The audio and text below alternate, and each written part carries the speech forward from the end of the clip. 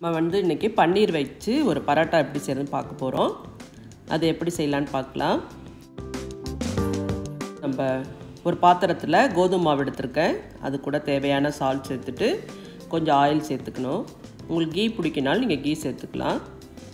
நம்ம வந்து சுடும்போது கீ சேர்க்க போகிறேன் நான். அதனால் இப்போ நான் ஆயில் சேர்த்துருக்கேன். எல்லாத்தையும் நல்லா மிக்ஸ் பண்ணிக்கணும்.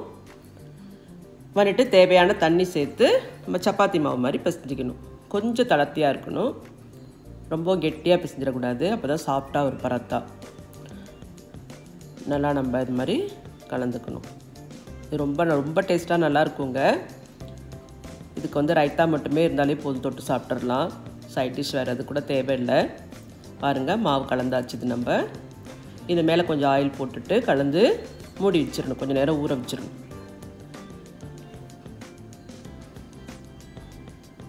இப்போ நம்ம பன்னீர் ஸ்டஃப் எப்படி பண்ணலான்னு பார்த்துடலாம் திருவண பன்னீர் எடுத்திருக்கேன். திருவண பன்னீரை ஒரு பாத்திரத்தில் சேர்த்துட்டு.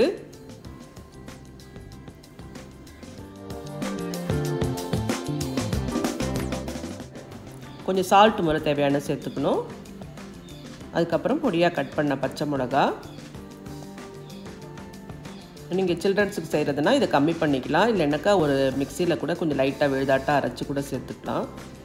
கொத்தமல்லி போட்டுட்டு கொஞ்சம் மிளகாத்தூள் ஜீரகத்தூள் சாட் மசாலா சேர்த்துருக்கேன். இது இல்லைன்னா ஆம்ச்சூர் பவுடர் வேணாலும் நீங்கள் சேர்த்துக்கலாம்.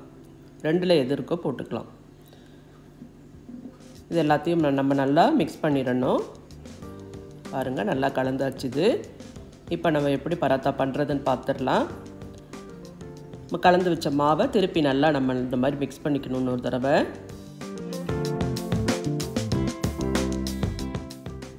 இப்போ நம்ம ஒரு ஒரு பால்ஸாக எடுத்துக்கலாம்.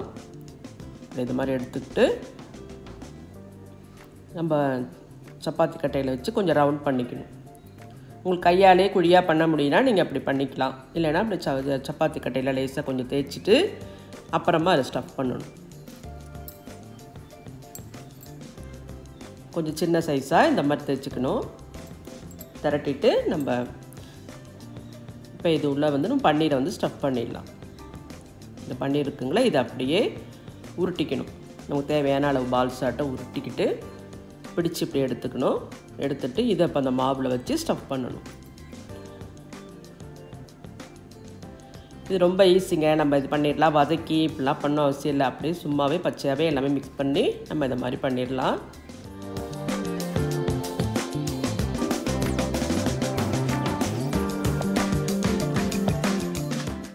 கலந்தது மாதிரி இது பண்ணிவிட்டு இப்போ நம்ம மாவு தொட்டுட்டு திரட்ட வேண்டியதுதான். கொஞ்சம் ஸ்மூத்தாக திரட்டணும். ரொம்ப ரப்பாக திரட்டினீங்கன்னா அந்த ஸ்டஃப்லாம் வெளியே வந்துடும் மாதிரி மாவில் நம்ம நல்லா தொட்டுக்கணும் முதல்ல. தொட்டுட்டு மெதுவாக ரோல் பண்ணணும். ரொம்ப அழுத்தி நம்ம தேய்ச்சோன்னாக்கா அந்த ஸ்டஃப் வெளியே வந்துடும் ஸ்மூத்தாக இப்படி பண்ணணும். திரட்டியாச்சு இப்போ நம்ம. இதை வந்து நம்ம அடுத்தது சுட்டு எடுக்க வேண்டியதான் இது ரொம்ப ந ரொம்ப நல்லா இருக்குங்க. நீங்களும் அதை ட்ரை பண்ணி பாருங்கள் இந்த மாதிரி நமக்கு எவ்வளோ தூரம் மெல்லிஸாக பண்ண முடியுமோ அது மாதிரி திரட்டிக்கணும். அப்போ இன்னும் கொஞ்சம் நல்லா சாஃப்டாக நல்லாயிருக்கும் உள்ளே நான் ஸ்டஃப்லாம் சேர்ந்து நல்லா வெந்து நல்லா சூப்பராக இருக்கும் பராத்தா. நல்லா முடிஞ்ச அளவு மெல்லிஸாக திரட்டிக்கணும். இப்போ நம்ம எப்படி சுட்டு எடுக்கலான்னு பார்க்கலாம். தவா காய வச்சுருக்கேன் அதில் போட்டிருக்கேன். இப்போ ஒரு ஒன் சைடு கொஞ்சம் லைட்டாக குக் திருப்பி போடணும். உடனே இப்போ எல்லாம் ஆயிலோ கீயோ எதுவும் சேர்த்துடக்கூடாது. எப்போதுமே சப்பாத்தி பரத்தா எல்லாத்துக்குமே நான் இதான் சொல்லிகிட்டு இருக்கேன் ரெண்டு சைடு கொஞ்சம் குக் அப்புறமா நீங்கள் கீ போட்டிங்கன்னா நல்லா ஸ்மூத்தாக நல்லா வரும். உப்பி வரும் நல்லா நல்லா உப்பி வரும். பாருங்கள் நல்லா எப்படி ரெடி ஆகிட்டு பாருங்கள் ரெண்டு சைடும் நல்லா கீ போட்டு சுட்டுக்கணும்.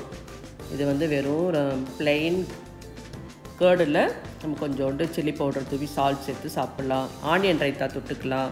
இல்லைன்னா குக்கும்பர் ரைத்தாவும் சாப்பிட்லாம். பாருங்கள் பராத்தா ரெடி ஆகிடுச்சிது இதை நீங்களும் ட்ரை பண்ணி பார்த்து எப்படி இருந்தது கமெண்ட்ஸில் சொல்லுங்கள்